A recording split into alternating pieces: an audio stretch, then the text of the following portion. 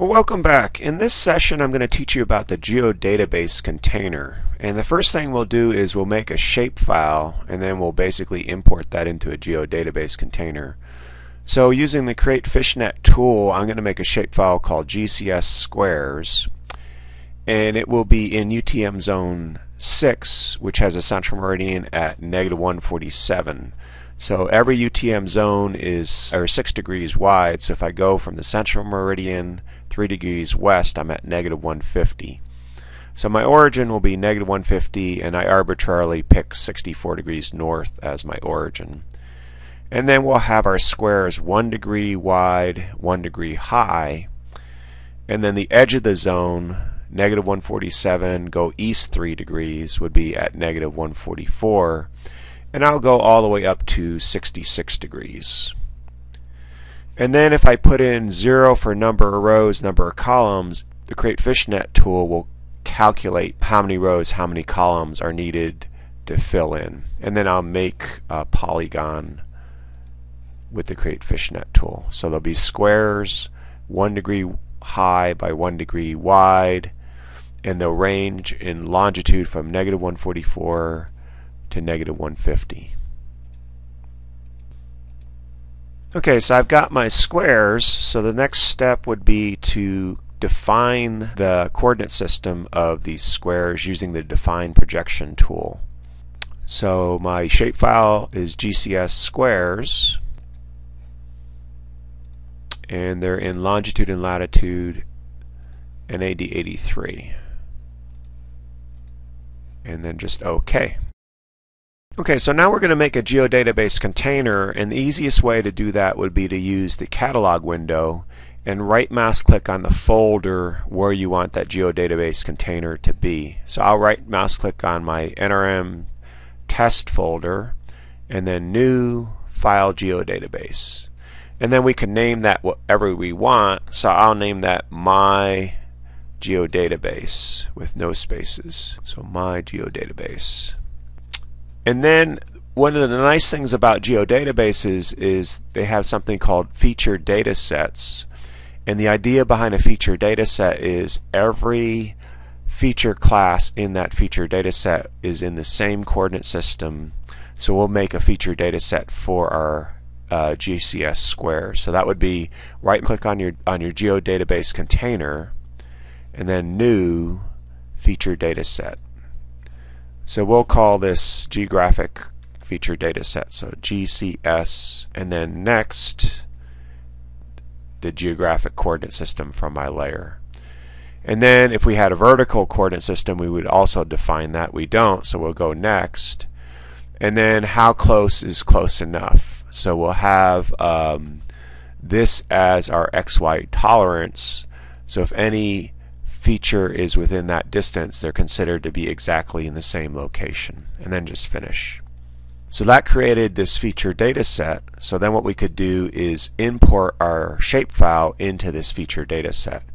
So the easiest way to do that is right mouse click on your feature data set container and then import feature class multiple. And in this case it's just one, but the nice thing about this tool is we don't have to even type in a name. It just inherits the names from the shapefiles. So we're going to take GCS squares and they'll be in this feature dataset container and then just OK.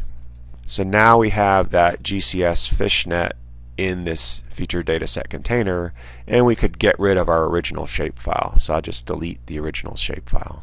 Okay, so now what we're going to do is we'll project that feature class into the UTM coordinate system and we'll actually put it in our geodatabase container and we'll call it rectangles UTM. So if I browse to my geodatabase container and double click on it to get in it and then we'll put it right at that level and it'll be called rectangles UTM. So the input from my feature data database container is in this feature dataset container and it is GCS squares. So take GCS squares and project it into the UTM coordinate system and then output it into my geodatabase container and we'll name it rectangles UTM and then just OK. Okay, so that put rectangles UTM inside this geodatabase container. It's probably a smarter idea to put it in a feature data set. So what we'll do is we'll make a new feature data set and assign the coordinate system of that new feature data set to be the same as this standalone feature class. So right mouse click on your geodatabase container, new feature data set, and we'll call this um, UTM feature data set. And then next, and then what's the coordinate system? So if I go to the globe, add coordinate system, and then import, that's one way to do it. The other way to do it is we can go all the way down to the bottom and under layers, just grab it from our current layer in our table of contents. And then we don't have a vertical coordinate system, so we'll go next. And then if the features are within point zero zero zero one meters, they're going to be considered in the same location. And then finish. Okay, and then we can simply drag our rectangles into that feature data set container. And now we've got a nice feature data set. It's got a coordinate system property, and everything in this feature data set will be have the same coordinate system. Okay, so let's calculate the polygon ID to be the object ID plus 10. So we'll use the field calculator. Okay, and then let's use a tool to assign random locations within each rectangle as a function of the ID. So for example, this first polygon will put 11 points randomly distributed in this first polygon. And this polygon will put 22 points randomly distributed in that polygon. Okay, so we're going to use this tool, create random points, and the output location will be our UTM feature dataset container. And we'll have a new output point feature class. I just called it random points and then it's going to be constrained by our rectangles. So that polygon feature class sitting in this feature data set. And then what we'll do is we'll say give us the number of random points as a function of a field. So as a function of the ID field. And then just OK. Okay, so the result is a point feature class. So for example, inside this polygon, there'll be 11 points randomly distributed and inside this polygon there'll be 22 points randomly distributed. So the next step will be to transfer the number of points sitting in each polygon to the polygon. So we'll use a spatial join tool to transfer that information. But before we use that tool, we'll specify our default geodatabase. So if you go to File menu, Map Document Properties, down here at the bottom, the default geodatabase will turn to My Geodatabase. Okay, so our target is the polygons, our rectangles, and we want to know for each rectangle how many points are sitting in each rectangle. And then just OK.